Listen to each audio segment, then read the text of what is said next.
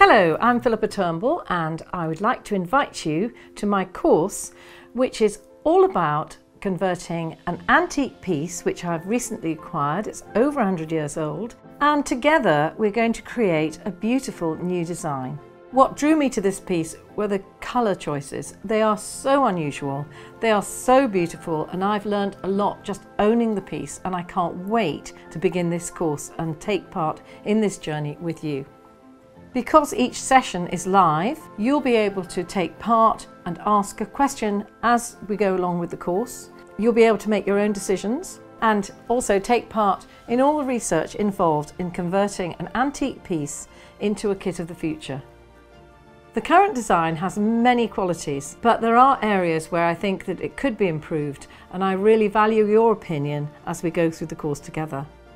By the end of this course, you will have learned all the basic crewelwork stitches and many decorative extras as well.